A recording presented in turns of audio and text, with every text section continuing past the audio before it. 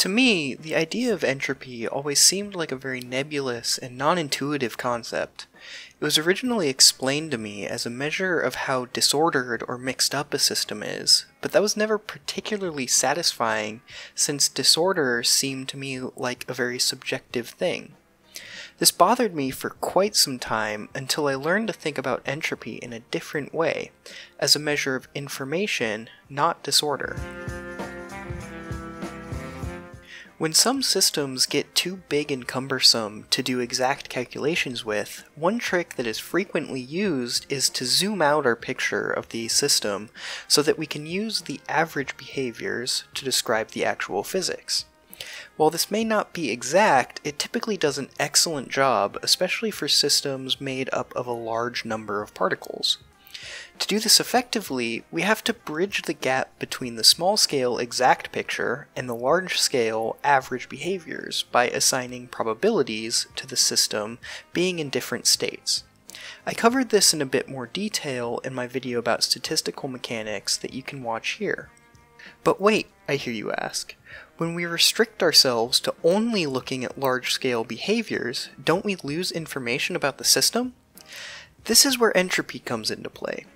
We can think of entropy as a measure of how much information we've chosen to neglect so that we can use this simpler picture.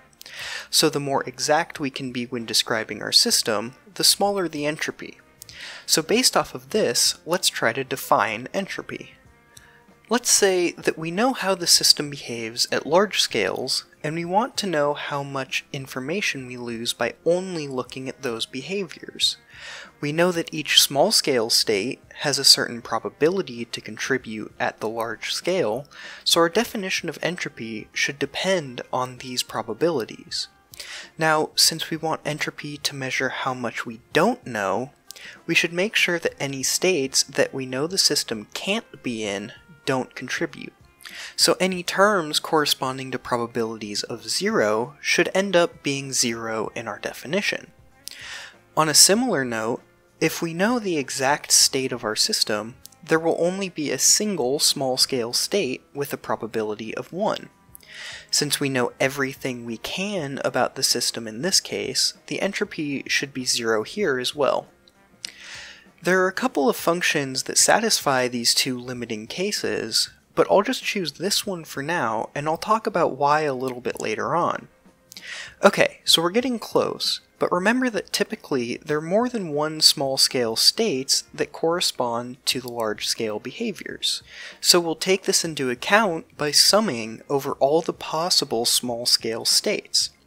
So far, we have that the entropy, call it S, is related to the sum over all states i of pi log pi.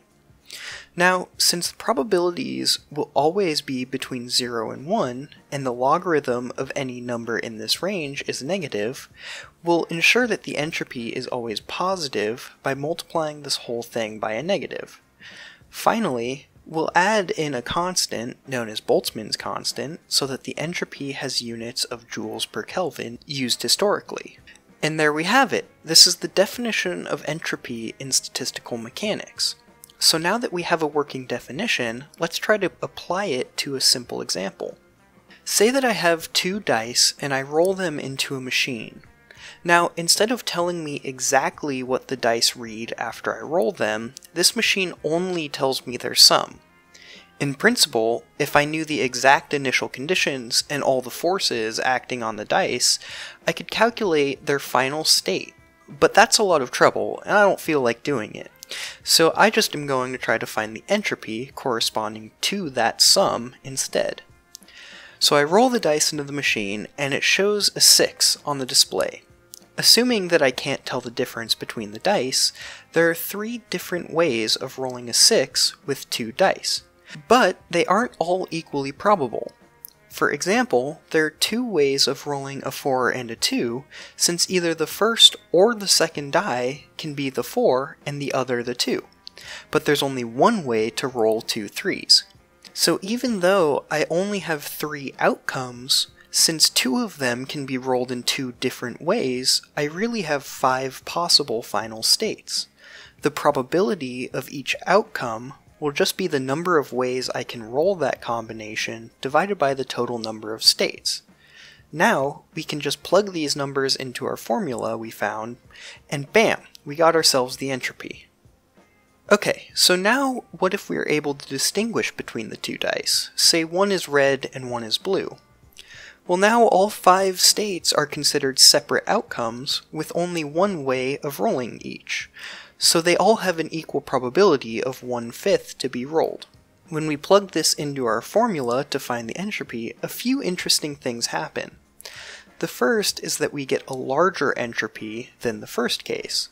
This shouldn't surprise us though, since the color of each die is now more information that we're choosing to neglect by just describing the state by its sum.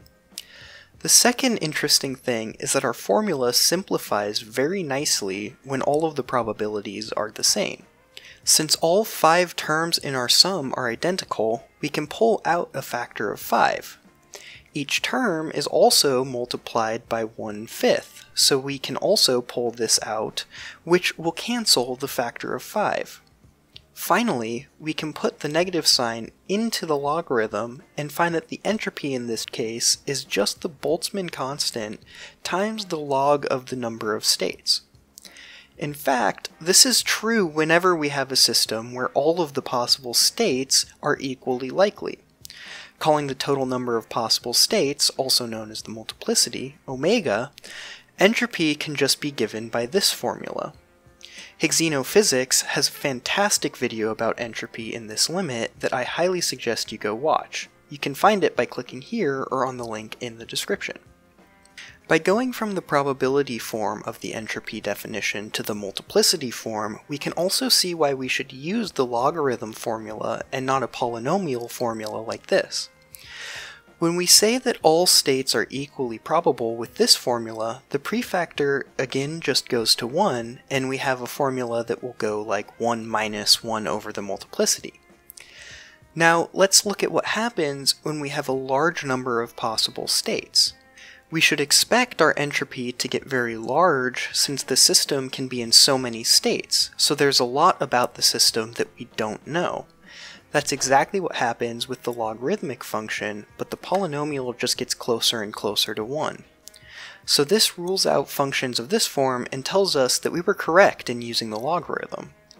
The idea that entropy is a measure of ignored information to me is a much more satisfying description than this idea of disorder.